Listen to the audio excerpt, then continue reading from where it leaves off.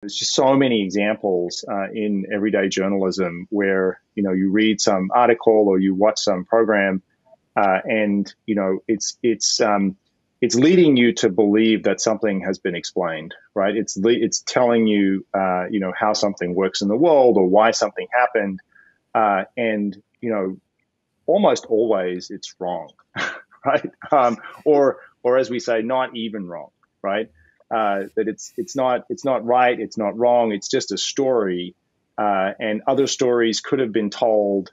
Uh, and if those stories had been told, you would have had a very different impression of what was happening in the world. Uh, and I, my my experience of teaching this material has been sort of like, um, you know, lifting the veils on people's eyes.